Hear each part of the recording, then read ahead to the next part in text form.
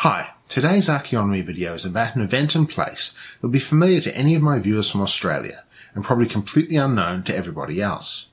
I encountered it in my research tracking the movements of the British military regiments that served in New Zealand. The event in question is known as the Eureka Rebellion and the place is the Eureka Stockade, located in Ballarat, Victoria, Australia.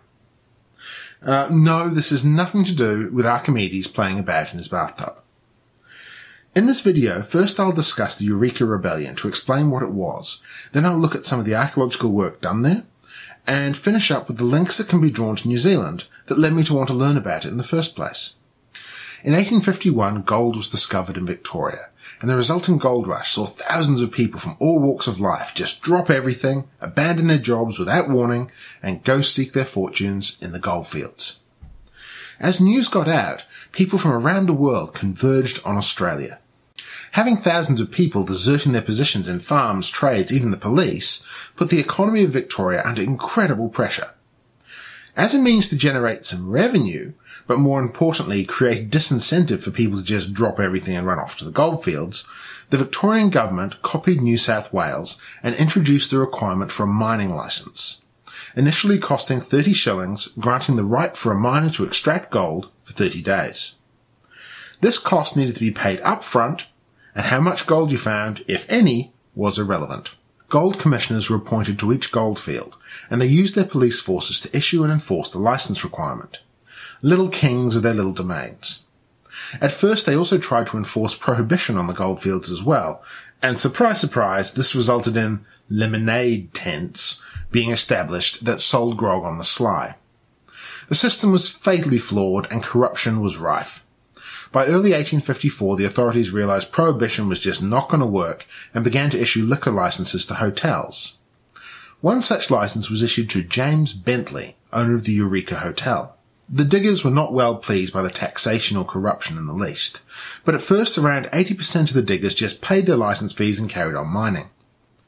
Those caught without licenses could be fined £10, sent to jail in Melbourne or Geelong, or had to forfeit their claims. Did these thousands of diggers have a say in all this? No. And this is an important factor to understand. At that point in time, voting rights were hardly universal in Australia, and women's suffrage was a long way off. In order to qualify to vote, you had to be an adult male who owned or rented property of a certain value. In the first Victorian election, there were 10,000 eligible voters of a population of 29,000 adult males. What this boils down to is that the diggers are in a situation of taxation without representation. Sound familiar to any American viewers out there? The Eureka Lead was a discovery that deep under the clay layer was an ancient riverbed with underground flowing water that had deposited considerable amounts of gold in its bends. This deep lead was 31 to 46 meters down, too much for a single miner to access, given the danger of flooding. The diggers had to pool their resources and claims and work together in teams to share the work and the rewards. It sometimes took up to six months to dig a productive shaft. The more time consuming digging meant that the diggers were settling in for the long haul, and many of them brought their wives and families out to live with them. People from many countries gathered in these goldfields, often working with their fellow countrymen. Some were veterans of the Californian goldfields, others were totally new to mining. The majority were from Britain. Quite a few were Irish, many of them middle class, as the poor could not afford the passage down under. Others from Germany, France, Italy, Switzerland, and North America came. The Chinese would come to the goldfields later on once the Eureka Rebellion was over. The authorities were particularly concerned about the Americans and the Irish, that they may stir up republican or rebellious sentiment in the diggers.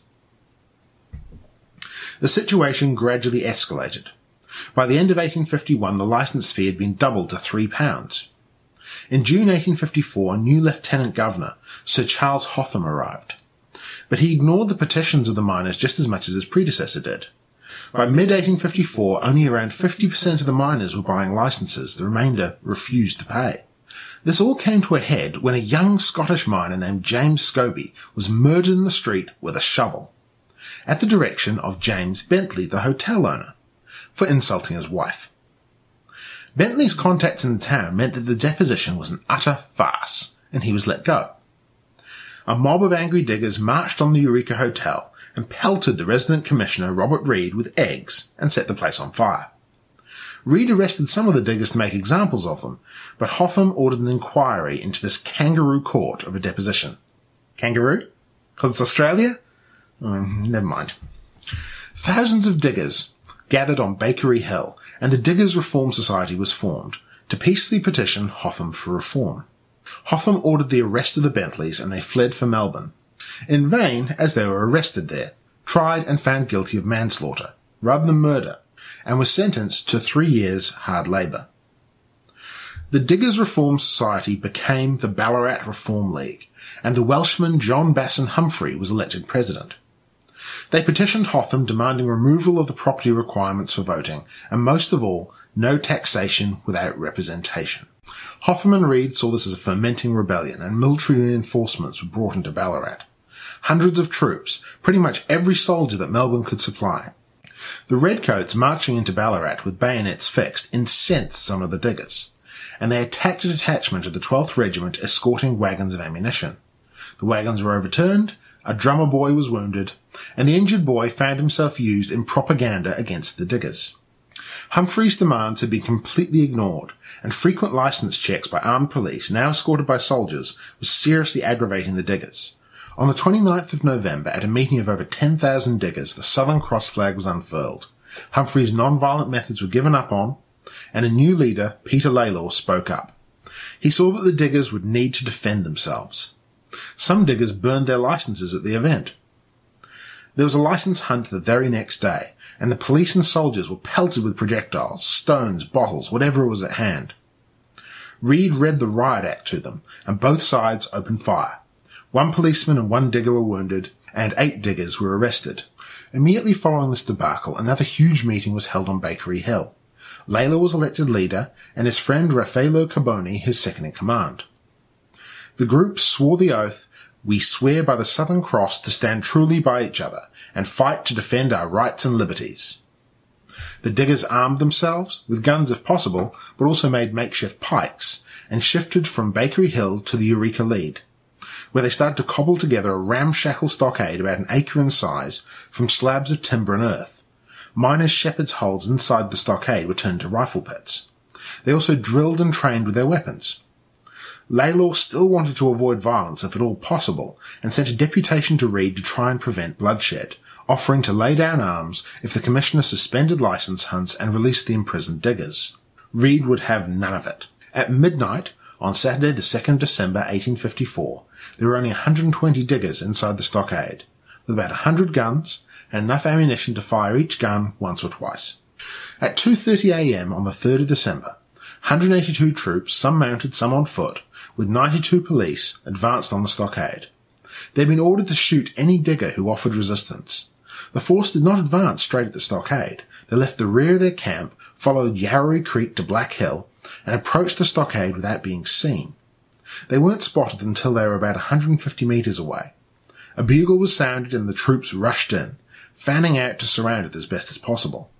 The battle was short and predictably one-sided. Well-trained and well-armed troops charged and gunned down the poorly equipped untrained miners in a poorly made stockade. Four soldiers and between 22 and 60 diggers were killed, and 125 diggers taken prisoner.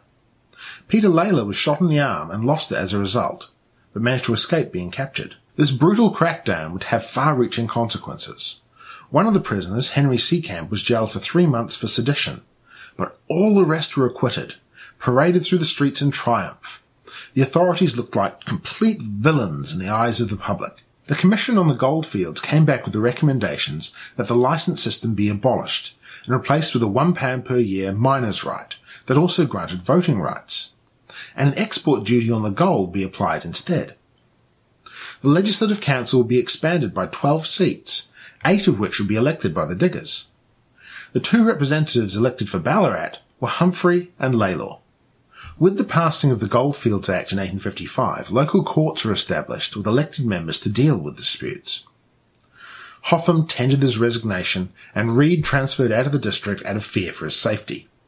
In 1857, voting rights were extended to all British and Aborigine males 21 years or over. The landscape at Eureka has changed dramatically since the gold mining days, and the exact site of the stockade is debated.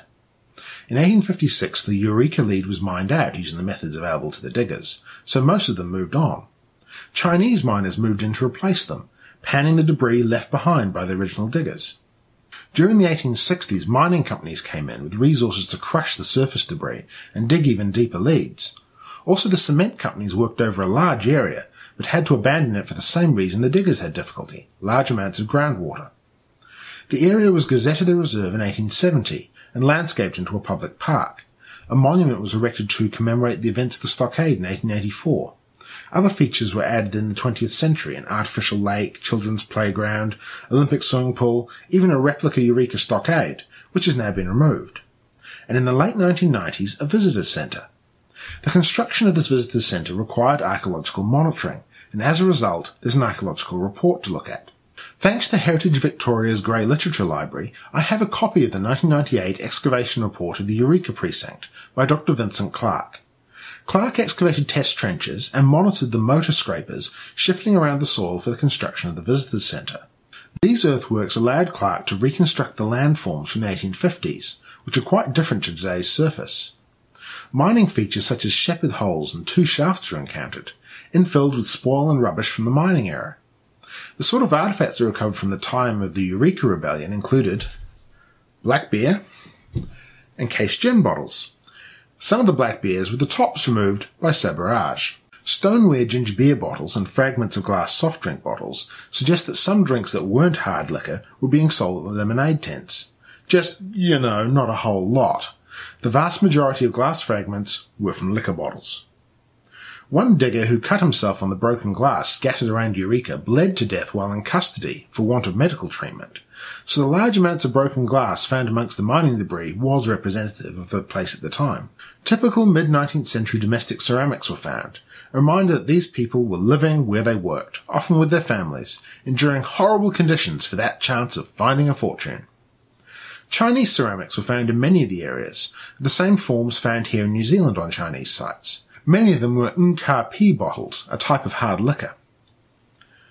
A pepper box revolver was found in the fill of one of the mine shafts. The rusty relic was x-rayed, which revealed that one of the springs in the firing mechanism had broken, providing a possible reason why it was discarded. Though one has to wonder why the owner didn't have the spring replaced. There are different theories posed as to the exact location of the Eureka Stockade, a puzzle made difficult due to the huge changes in landform that have occurred. It's long been considered that the archaeology would be little help due to the amount of disturbance in the area. The excavations for the car park extended into the area said by some to be the location of the stockade, but found no evidence of mining features there at all, eliminating it as a possibility. Clark came to the conclusion that based on the historic topography, the stockade was probably located at or near the 1884 monument, as stated by Harvey in 1994. I do not know if more recent studies have disproven or confirmed this, and I haven't found anything that does. But I'm working a distance here, and I'm not familiar with the historic research resources of Victoria. So how does this rebellion at a Victorian goldfield relate to New Zealand, some 2,000 kilometres away?